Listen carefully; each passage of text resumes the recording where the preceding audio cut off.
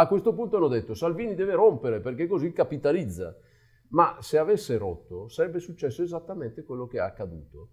E poi gli hanno dato del, del, dell'idiota, del cretino, perché dicevano, eh vedi, ha rotto e si è fatto fregare da quegli altri. Ma l'avrebbero fregato eh, se l'avesse rotto il 27 di maggio, il 27 di giugno o il 27 di luglio. Ha rotto ad agosto. Perché ha rotto ad agosto? Perché ha sperato, sapendo che ovviamente eh, nessun nessun cappone salta volentieri nella pentola per essere cucinato e quindi né i 5 Stelle né gli altri sarebbero saltati nella pentola eh, per essere cucinati andando alle elezioni per prendere una batosta. Quindi lo ha fatto ad agosto sperando che non avessero il tempo di organizzarsi, cioè che fosse talmente veloce l'operazione di poter. Gli è andata male, ha sbagliato i conti, non ha previsto tutto, vedremo quello che succederà. Se questo governo poi alla fine premierà, come pensavano loro, i 5 Stelle e il PD o premierà la Lega. Ecco.